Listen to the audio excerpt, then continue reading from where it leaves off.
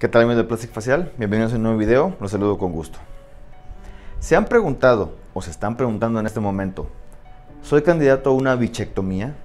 ¿Se verá mejor mi cara con este procedimiento? Lo más seguro es que sí, y de eso hablaremos en este video.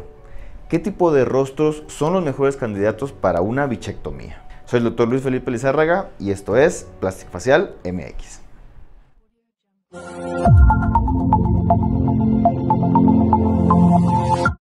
Vamos a empezar revisando qué es una bichectomía y cómo la realizamos.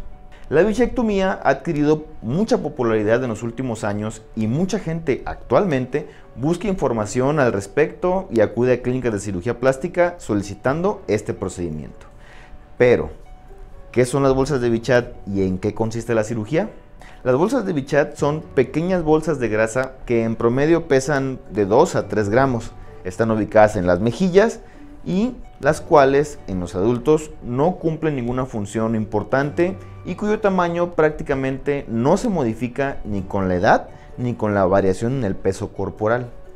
Es decir, aunque la persona baje de peso, estas bolsas de bichat se mantienen prácticamente iguales. La bichectomía es el nombre que se le da al procedimiento quirúrgico mediante el cual extraemos las bolsas de bichat. Tengamos en cuenta que quitarlas no implica ninguna consecuencia para la salud o para el buen funcionamiento del cuerpo. Este procedimiento lo realizamos mediante una pequeña incisión en la mejilla por dentro de la boca de aproximadamente un centímetro y a través de ella es por donde se extrae la bolsa de grasa. Es un procedimiento relativamente rápido y sencillo que toma aproximadamente entre 20 y 30 minutos completarlo y puede ser realizado con anestesia local. Regresando a tus actividades normales en 24 o 48 horas. Como comentamos, es un procedimiento relativamente rápido y sencillo, pero que, como todo procedimiento médico, no está exento de riesgos, los cuales debes consultar con tu cirujano antes de realizarte una bichectomía. El efecto que buscamos lograr en la cara con este tipo de, cirugía es el de dar la impresión de adelgazamiento del rostro en el área de las mejillas. Y con esto lograr la apariencia de un rostro más ovalado y con líneas más armoniosas en su contorno.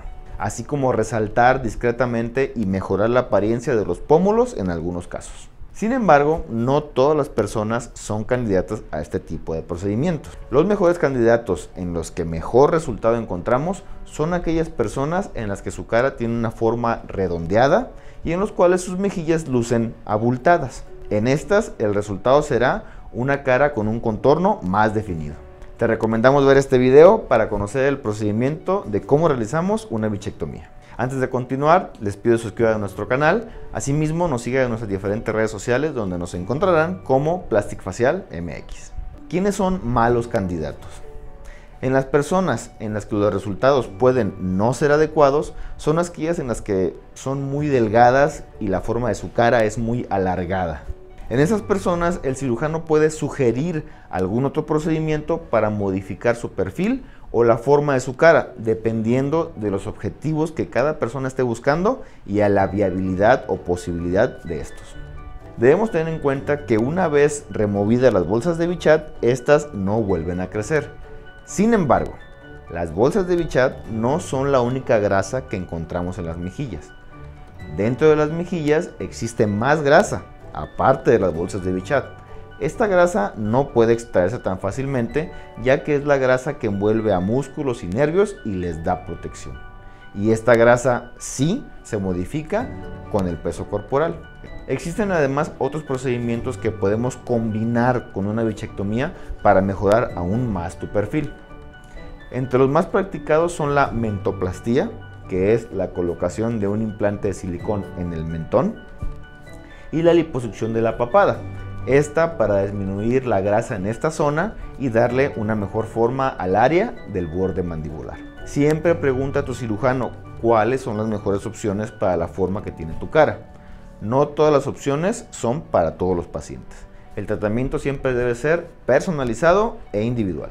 Estos fueron los aspectos más importantes sobre la bichectomía y la manera en cómo sabemos si somos buenos candidatos o no para este procedimiento.